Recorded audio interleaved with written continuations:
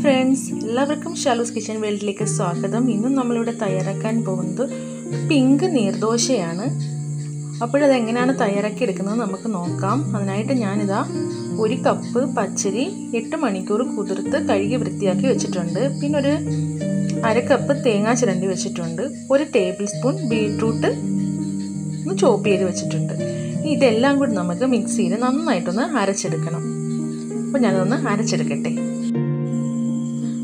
അപ്പോഴിതാ നമ്മുടെ പിങ്ക് നീർദോശമാവ് ഇവിടെ റെഡി ആയിട്ടുണ്ട്. നമ്മുടെ സാധാ ദോശമാവിന്റെ അത്രയും കട്ടി ഉണ്ടാവില്ല. കുറച്ച് വെള്ളം പോലാണ് ഇരിക്കുന്നത്.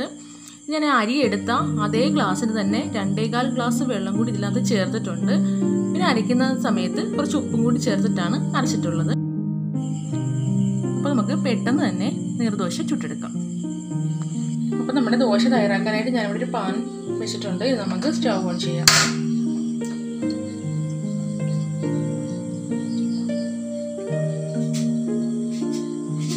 നമ്മുടെ പാൻ നന്നായിട്ട് ചൂടായിട്ടുണ്ട്. ഇനി നമുക്ക് ഒരു മാവ് ഒഴിച്ചെടുക്കാം. പെട്ടെന്ന് തന്നെ ഒഴിച്ചെടുക്കണം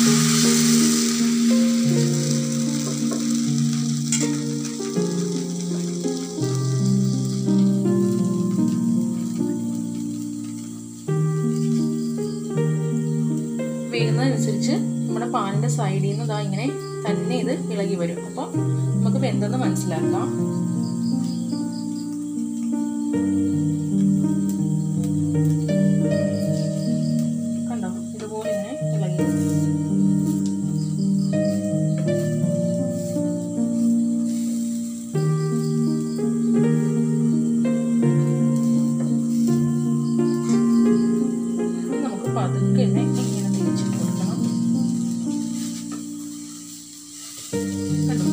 നമ്മുടെ അടിപൊളിയായിട്ടുള്ള പിങ്ക് നീർദോശ റെഡിയായി വരുന്നത്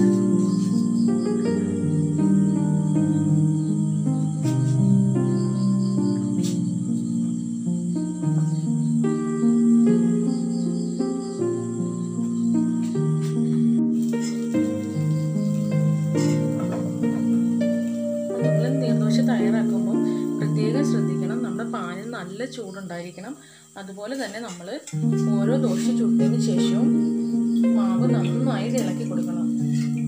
അടിയിൽ പാത്രത്തിന്റെ അടിയിൽ മാവി പാത്രത്തിന്റെ അടിയിൽ മാവ് കട്ടയായിട്ടിരിക്കാനുള്ള സാധ്യതയുണ്ട്. അതുകൊണ്ട് ഓരോ പ്രാവശ്യവും ദോശ കൊടുക്കും നമ്മൾ ഇങ്ങനെ ഇളക്കി ഇളക്കിയിട്ട് വേണം ഒഴിച്ചു കൊടുക്കണം. അതൊന്ന് ശ്രദ്ധിച്ചാൽ മതി. അപ്പം ഞാൻ ബാക്കിയുള്ള ദോശയും കൂടെ ഒന്ന് ചുട്ടെടുക്കട്ടെ.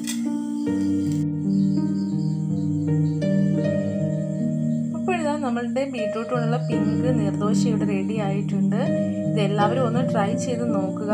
ഇഷ്ടപ്പെട്ടാൽ ലൈക്ക് ചെയ്യുക ഷെയർ ചെയ്യുക ചാനൽ ഒന്ന് സബ്സ്ക്രൈബ് ചെയ്യുക. അടുത്തുള്ള ബെൽ ബട്ടൺ കൂടെ ഒന്ന് ക്ലിക്ക് ചെയ്യുക. താങ്ക്